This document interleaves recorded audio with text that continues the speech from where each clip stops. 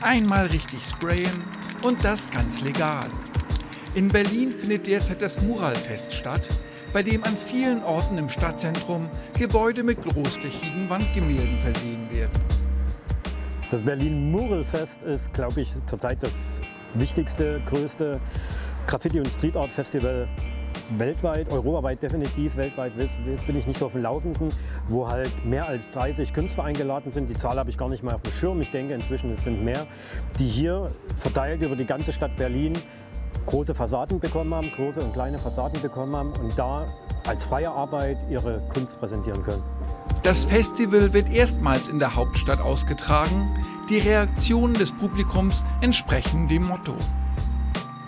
Nackenstarren, was auch der Leitspruch ist, Nackenstarre garantiert, weil immer Blick nach oben, was machen die da?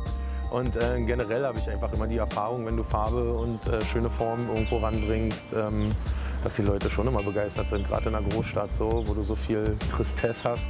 Auf über 10.000 Quadratmetern sind die Ergebnisse der Künstler zu sehen. Das Festival endet mit einer großen Party.